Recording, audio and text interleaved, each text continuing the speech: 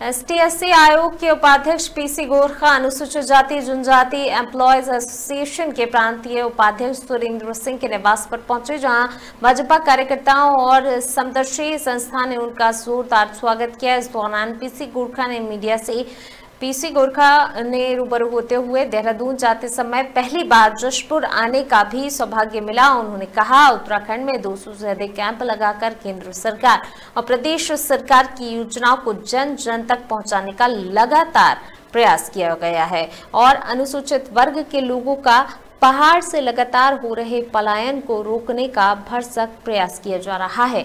साथ ही उन्होंने कहा कि अनुसूचित जाति के लोगों की भूमि पर शीघ्र ही कड़ा कानून बनाए जाने की सरकार से अपील है, जिसमें अनुसूचित जाति के लोगों को भूमि विहीन होने से बचाया जा सके। शीघ्र ही जसपुर विधानसभा क्षेत्र कैंप लगाकर क्षेत्रीय जनता की समस्याओं को सुना भी जाएगा और समय पर निराकरण भी कराए जाने की बात कही गई है। जशपुर से प्रदीप श्रीवास्तव की रिपोर्ट।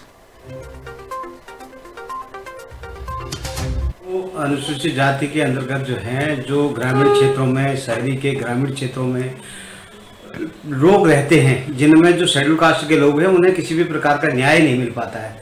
उनके सार्वजनिक विकास के लिए कोई योजनाएँ संचालित नहीं होती है। भारत सरकार, उत्तराखंड सरकार के द्वारा जो केंद्र से पोषित योजनाएँ चलती हैं, उन योजनाओं को धरातल में उन लोगों को लाभ प्राप्त नहीं होता है।